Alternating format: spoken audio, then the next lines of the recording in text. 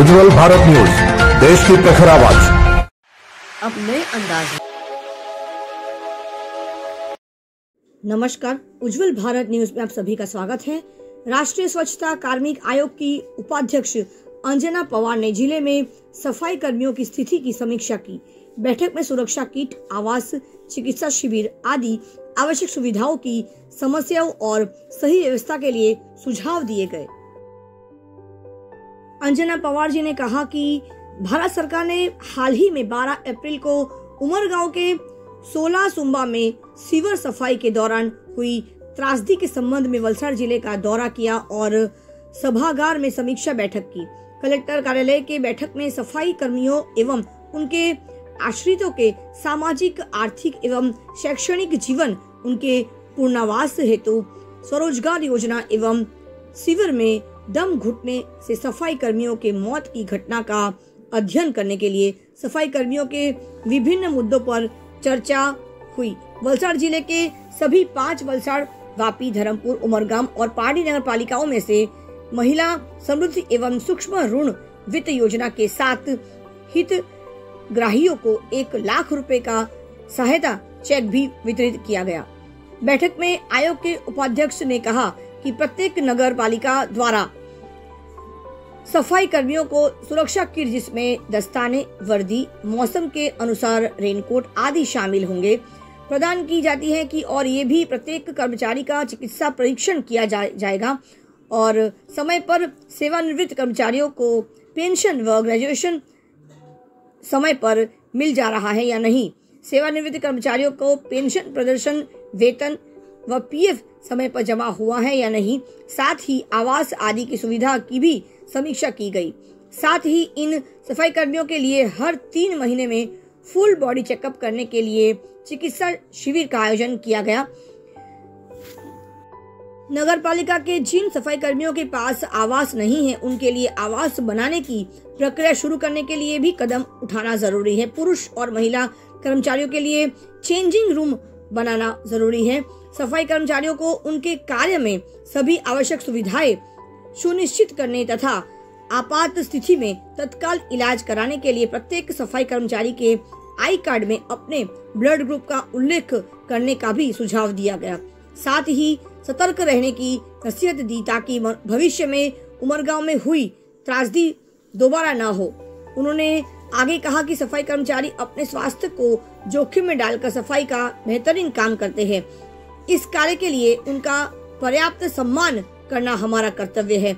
इन सफ़ाई कर्मचारियों की छोटी छोटी लेकिन मूलभूत समस्याओं का समाधान उनके जीवन को काफ़ी आसान बना सकता है। एम एस एक्ट 2013 के तहत किसी कर्मचारी को नाले में घुसकर सफ़ाई का काम करना दंडनीय अपराध माना गया है। इसलिए इस एक्ट के तहत सफ़ाई का काम किया जाना चाहिए।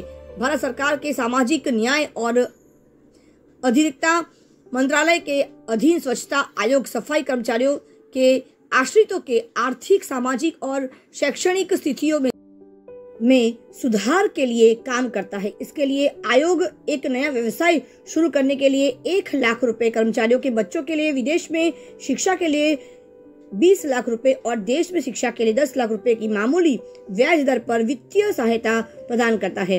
कलेक्टर श्री शिप्रा अग्रे जी ने भी कहा कि उप सभापति द्वारा दिए गए सुझावों के संबंध में प्रशंसनिक व्यवस्था सफ़ाई कर्मियों की सहायता के लिए आवश्यक कदम उठाएगी तथा प्रत्येक तीन माह में होने वाली बैठक में सफ़ाई कर्मियों की समस्याओं से संबंधित प्रश्नों का भी समाधान किया जाएगा। बैठक में जिला विकास अधिकारी श्री मनीष गुरवानी जी, प्रेसिडेंट अपर समाहर्ता Shri Anushwa Jha, probationary I A S Nisha Chaudhary ji, police उपाधीक्षक ए के वर्मा, वलसाड़ धर्मपुर के प्रांतीय अधिकारी नीलेश कुकड़िया और केतुल इटालिया प्रत्येक के अधिकारी और मुख्य अधिकारी उपस्थित रहे।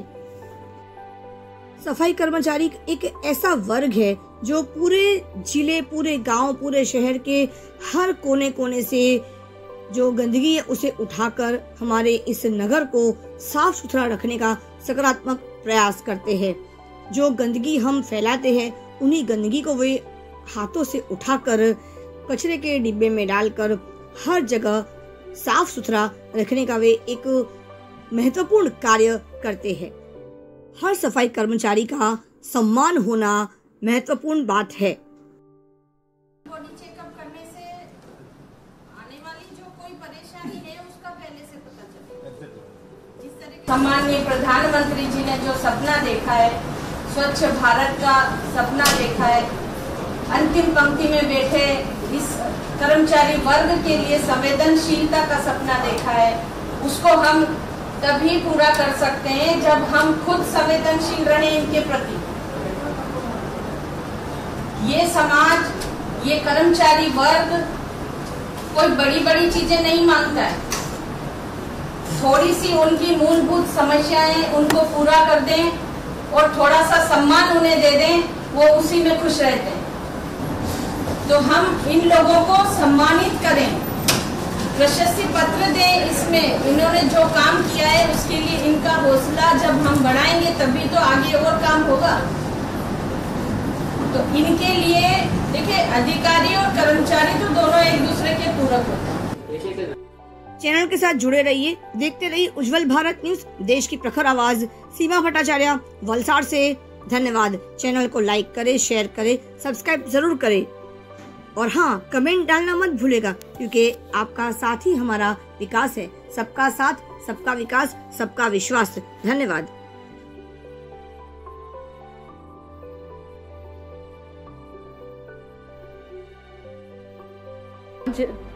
गुजरात के वलसाड ज़िले में अ, मीटिंग थी।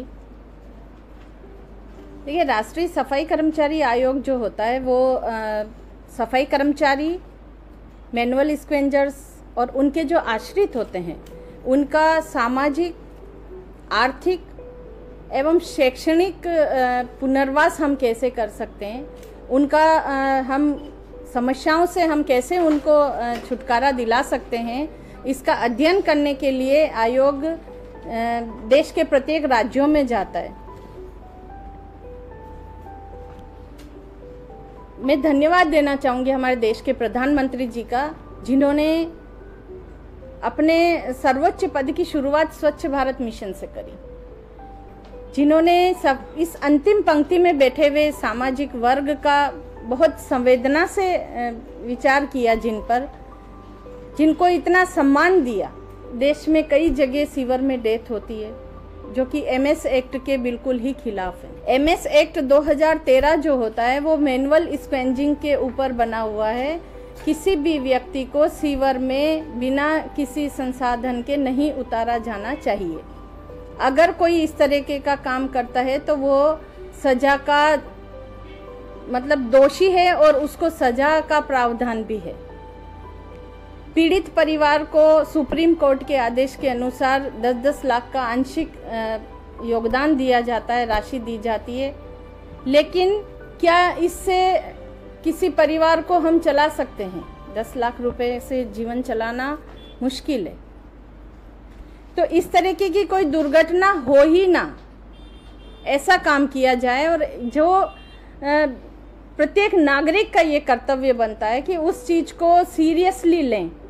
चाहे वो रास्ते चलते हो, चाहे अधिकारी हो, चाहे जो काम करने वाला, उतरने वाला व्यक्ति हो, चाहे कोई भी कर्मचारी हो, कोई भी व्यक्ति हो, उसको अपने मन में संवेदना रखनी चाहिए, अपनी ज़िम्मेदारी का एहसास होना चाहिए कि इस तरीके का कार्य कहीं भी होते देखें तो उसको रोकें। तभी इस देश से मैनुअल स्क्वेंजिंग का नामक जो ये चल रहा है, वो ख़त्म हम कर पाएँगे। आज मीटिंग हुई है। मीटिंग में सफ़ाई कर्मचारियों की समस्याओं से के बारे में हमने डिस्कस किया। सफ़ाई कर्मचारियों की बहुत छोटी छोटी मूलभूत समस्याएँ होती है। उसमें जैसे रहने के लिए घर नहीं है तनख्वाह टाइम से नहीं मिलती है यूनिफॉर्म ठीक से मिलनी चाहिए।